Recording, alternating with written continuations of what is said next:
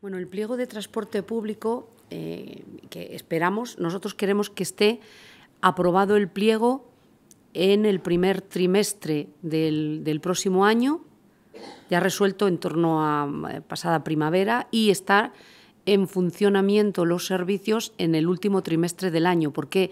Porque aunque acabe el proceso de licitación, lo he comentado en varias ocasiones, yo creo, y se, formule, se firme el contrato con la empresa concesionaria, necesita un mínimo de seis meses para que se suministren los nuevos vehículos.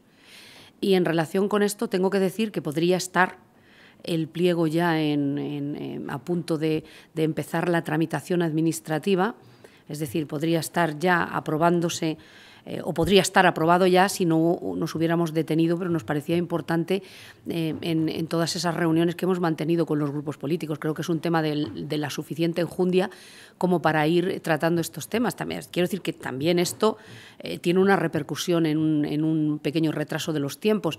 lo digo porque luego oigo a la oposición quejarse, pero tuvimos la reunión, mantuvimos la reunión en el mes de julio y fue, no sé si dos meses después, cuando yo tuve que mandarles un, un correo diciendo estamos a la espera de vuestras sugerencias y propuestas.